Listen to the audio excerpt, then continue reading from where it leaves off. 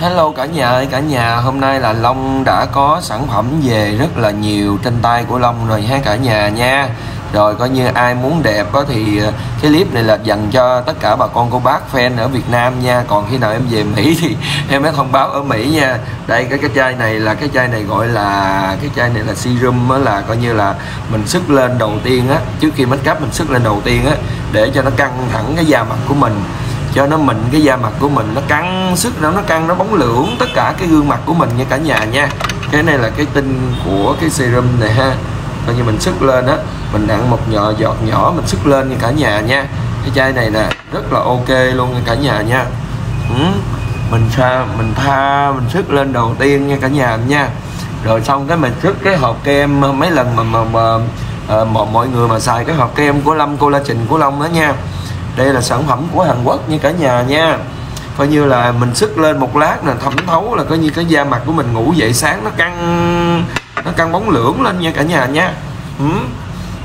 mình sức á mình sức mình kéo kéo kéo kéo kéo. Mình để lên vậy nè cả nhà nha. Ừ, nó thẩm thấu liền tại chỗ nha cả nhà ha. Rồi bây giờ mình rờ vô cái mặt của mình nó nó, nó căng bóng lưỡng luôn nha cả nhà nhé tuyệt vời lắm cả nhà ơi rồi xong cái bắt đầu mình mới sức cái hộp này lên. Sức cái hộp collagen này lên nha. Đó, cái hộp collagen này nè. Đó, tuyệt vời chưa? Đó không? Xong mình mới sức cái hộp này lên nha. Đó.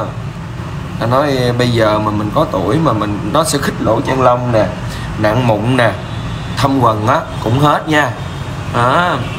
Cái hộp kem này nặng mụn, thâm quần hết luôn nha cả nhà nha. Ok, nắm nhẹ mình đi hết như cả nhà nha khích lỗ chân lông nè, những cái nếp nhăn trên mặt của mình nó thẳng nè, nó mịn trơn hết cả nhà nha. Ok, cả nhà ở Việt Nam, cái clip này của Long dành cho Việt Nam, tụi Long đăng ở Việt Nam nha.